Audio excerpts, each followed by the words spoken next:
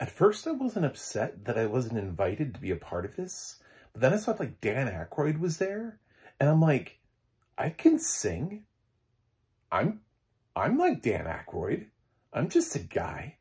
I could have been in the greatest night in pop, but I was too. So there's that. This is on Netflix. This is a documentary. It's uh, it's got audio description, so we're just checking things off. I'm John Stark, Mac the Movie Guy. I'm gonna need you to click that subscribe button so I can tell you about the greatest night in pop. Because right now, I'm sure you're like, what night was it? Was it the night that Taylor Swift won some Grammy, or was it the night that Justin ripped off Janet's boob? Anyway, um, no, it's not. It's, uh, it's, we are the world.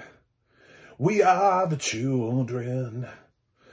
It's, uh, recording of that video and how they got all of those singers together in one room, which just sort of seems like, I love how they're like, oh, this is amazing. We got everybody. It's like, you just got everybody who was at the AMAs calm down. When you really think about it, it's just like a, a smaller version of people who were at the AMAs. so uh, this film is doesn't really star anybody because it's a documentary, but it's got a lot of Lionel Richie in here. So if you're a Lionel fan, um, I suppose he does the most talking because it was sort of his baby, his project, and he had to put it out there and send it out there to the world. Um, and he was tasked to do it by Quincy, who in interestingly also has a documentary about himself. on Netflix. It's Documentaryception.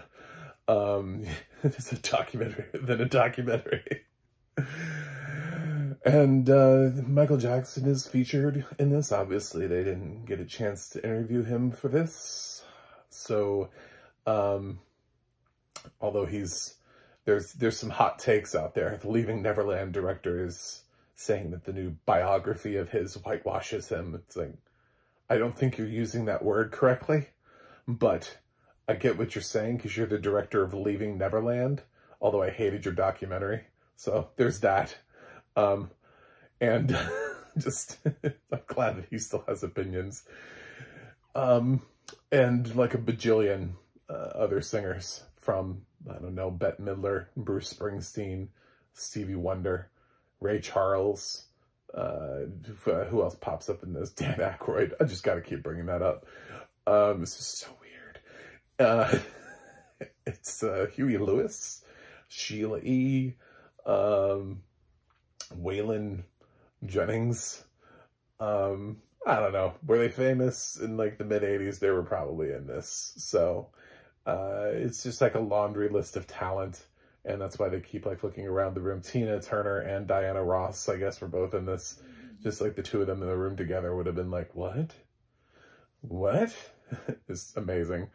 Um, and they were writing this song. Uh, this was back in the 80s when we did a lot of things for Africa through music. We live aided and uh, uh, We Are the Worlded up uh, music, uh, Hands Across America. We did a lot of things in the 80s. This is much more piece. I, we couldn't pull this kind of stuff off today. Somebody like would try and they'd be like, hey guys, let's get woke. Okay, we're not doing that then. Uh, so they just would, wouldn't be able to do it. Somebody would say there's a conspiracy and I don't know. It's just, the internet broke everything, I guess. Uh, but back then, they were able to just get everybody in a room together and uh, sing a song to save Africa. Raised $80 million for Africa since its debut in uh, 1985, which really it sounds impressive, but then you're like, that's since 1985 that it's raised. I guess it's one song that raised $80 million, so I guess that's the that's the that's the things like what one song can do. Um so yeah, it's uh, it's a it's an interesting documentary. I was really engaged um, in the story about how this whole thing came to be. Uh, I was actually just engaged about knowing more about the time in which Lionel Richie was popular as a, like a star because it, it, I feel like I feel like I missed it. I feel like there was a there was a, a, a point in time where he was like super popular, and then I came along and grew up and like I, his music in the past, right? And I'm listening to it on when my parents are controlling the radio, and uh, but he didn't really bleed over into my time period that much. A lot of these artists didn't. They weren't in. They didn't really sing in the '90s. Um, which is why like this is a night, this is 1985 you don't have whitney houston here um you know so yeah it's uh it's people who were popular for the time period although it's amazing bruce springsteen is just still he's still going he's just still still kicking it um the man anyway the boss but, uh, I, I feel like I've lost my track here. The audio description here is is really good. Um, it's uh, it, it is a documentary and it's about music. So you have people talking and you have people singing. So you have like two things that are conflicting and are taking up a lot of time in terms of where you might put audio description. However, it does a pretty good job of letting you know who's talking, um, trying to point out who's in the room, uh, who who arrives. They have some footage. I guess they were because they were shooting the actual music video for "We Are the World" at the same time. Um, they have some footage of that. They footage from the AMAs that Lionel hosted. Uh, they've they've got whatever interviews they can. They got some some archival footage of Harry Belafonte that helped to kick off this whole thing. And um, yeah, I really like this documentary. Um, I I like when I like a documentary that isn't trying to change the world. Um, that isn't, those are good too. It's going to end up not being my favorite documentary of the year because I tend to lean towards something that really just kind of blew my mind the other way. Like, I think my past three have been, uh, you know, all sort of like for social change. Um, and uh, or just like this topic is really important. We have to pay attention to it. The Greatest in Pop is more like, yeah, this is a great period in time and it was really fun. And I'm glad I know more about it. I'm glad I have the answers to this question because I was two and I wasn't, I, I didn't get the whole We Are the World experience. I got it later on in life and didn't quite get the, you know, what it felt like to, uh, to be a part of this when it was when it was released on like apparently every radio station at the same time at like 7:15 everywhere. They've got like people who are speaking like other languages um when they when they do this launch thing. So I'm guessing it was like worldwide. I just I really wonder like how worldwide was it? Was it on like every station? Like every station like really? Did they break in on like the the metal channel, you know, like or the we're gonna rock, but first we're gonna dial it back because it's seven fifteen and it's time for We Are the World.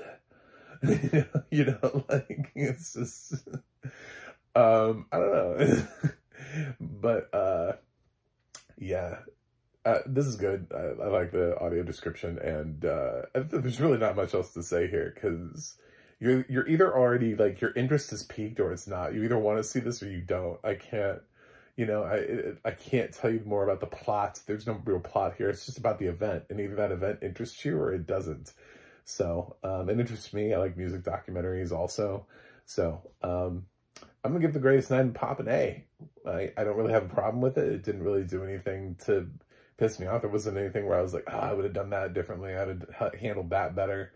Um, the only question that only question that I needed more attention to is why is Dan Aykroyd here?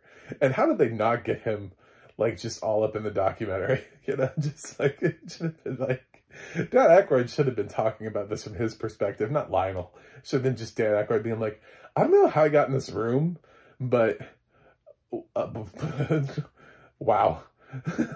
Look at all these singers around me. Why am I here? Uh, is it uh, the Blues Brothers?